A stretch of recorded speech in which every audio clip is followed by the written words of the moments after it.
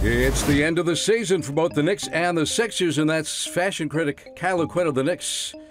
He doesn't like what Clyde's wearing. Walt Frazier, that suit. Oh, that suit. Carmelo Anthony on the court. Phil Jackson in the stands.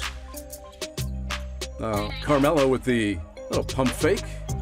And he nails that one. He had 17 points in the game. Sixers now down by two. Nick Stauskas.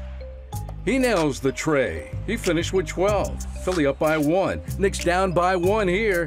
Maurice Ndour. He hits the jumper. The Knicks lead 114 113. Now the Knicks win it at MSG 114 113.